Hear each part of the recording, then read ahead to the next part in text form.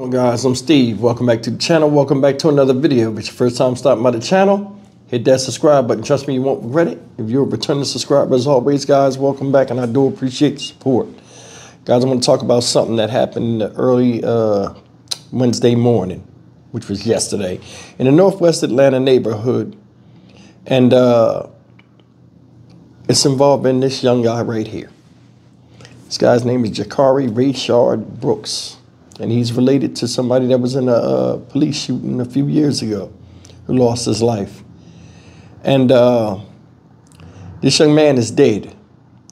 He's dead because of a scooter dispute. Remember that word, dispute.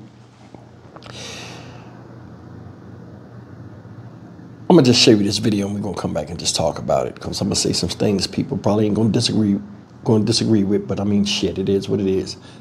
Hold on. Atlanta teen is shot and killed in northwest Atlanta overnight. His family tells Fox 5 he is Rayshard Brooks' nephew. You'll remember Brooks' shooting death by an Atlanta police officer sparked days of protests in the summer of 2020. The teen's shooting happened along the 1000 block of Cato Street. Fox 5's Deidra Dukes is live at the crime scene with the latest tonight. Deidra? And responding officers discovering Jakari Brooks' body in this wooded area behind a house here at around 4:30 this morning. Now they are saying very little about this case, but uh, his mother tells me that she was told that he was shot following a dispute over a scooter for one second, I, I didn't know what imagined that would be my son. Stardricus Brooks' search for her 16-year-old son came to a tragic end in this northwest Atlanta neighborhood. Officers responding to a report of a person shot made the gruesome discovery in a wooded area behind this house on the 1000 block of Cato Street. Jakari Brooks had been shot and killed. The teen's family lives near the crime scene. His mother heard gunshots at around 11:30 Tuesday night, unaware her son was in trouble. It was like five gunshots. I heard it literally, and I seen the, the police just riding back and forth up the, up the street, and I was like, they were riding, but you know, I didn't, because nobody called me and told me told me anything. Jakari's mother raced to the scene after her son's friend told her he'd been shot over a stolen scooter. The, the, the house right there where they went to retrieve a scooter, um, whatever it was they were doing. Um, the people start shooting. The Brooks family is no stranger to tragedy. Jakari was Rayshard Brooks' nephew. Rayshard Brooks was shot and killed by APD officers during a traffic stop at a Wendy's restaurant on University Avenue in 2020, sparking days of citywide protests. Neighbors here told Fox 5 off camera they fear there will be more violence and retaliation for Wednesday's deadly shooting. Another piece of tragedy, um, and it, it does involve a shooting and it does involve guns. Gary Stokes visited the crime scene. The community activist said he helped the Brooks family in 2020 and would work with others to try to ease tensions here. The circumstances are different, but you know, it still touches home and it's something that this family does not need at this time. Now, at this time, police are not revealing a possible motive in this case, and they have not said whether or not they have identified a shooter. In Northwest Atlanta, Deidra Dukes, Fox 5 News. Guys, another life lost, another uh, waste of potential. And uh, if you paid attention closely to what the mother said, she said uh, they went around there to get scooter or steal a scooter, or whatever it was they was going to do. Somebody shot him. Okay, so then they said it was over, the whole thing was over a stolen scooter. Obviously, she knew she didn't buy the scooter and she did admit on TV, hey, so might have been they stole the scooter, whatever. My thing is this: all the stuff is out there, right? And it says, you know, dozens of officers uh, were out there with flashlights trying to find out, you know, where he was, and he was wound up being behind the house. Friend came back and told, which the friend, we was good. The friend did, but a couple of things. This right here is something that you see a lot. Remember, sometimes I used to tell you when we was younger, they would tell us, hey, stay outside. Don't come in here. You letting flies in. You know, you go outside, you stay outside. If not, you're not going to be running in and out the house. I think this might be one of them situations of such that children was taught younger and then they get older and it sticks. Kids wind up being out there in the street. It's 11:30 on a Tuesday night, regardless if it's summertime or not. We was told to sit on the porch, and we better not take our ass off that porch where they can't open the door and see us sitting right there. You know what I'm saying?